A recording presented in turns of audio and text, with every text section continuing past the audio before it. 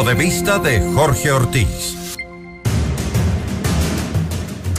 El paro de indígenas radicales y sindicalistas obsoletos fue un fracaso. Pero no nos engañemos, volverán por más. Lo de esta semana fue un ensayo, una prueba para medir fuerzas.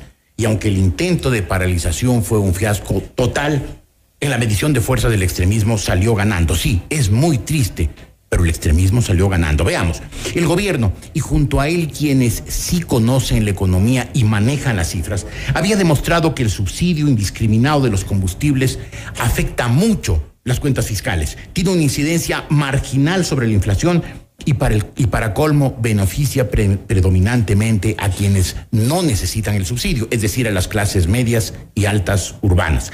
Y el Ecuador, exceptando, exceptuando a los politiqueros extremistas, había asimilado bien la supresión paulatina del subsidio.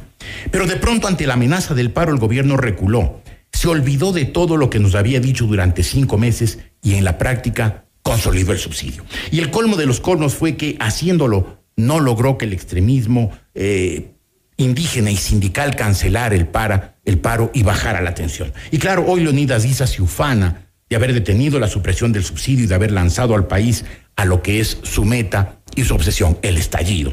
Con todo lo cual el gobierno no solo le dio un triunfo fácil al extremismo, se complicó en las cuentas fiscales y estropeó su credibilidad ante la comunidad financiera internacional, sino que les enseñó la fórmula a sus adversarios.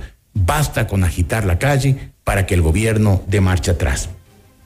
¿No hubiera sido mejor, pregunto, que el gobierno mantuviera su rumbo, demostrara convicción y autoridad, no revelara debilidad y más bien presentara a la Fiscalía una denuncia contra todos quienes corresponda por incitación a la paralización de servicios públicos, por exaltación de la violencia y por llamado a la convulsión social?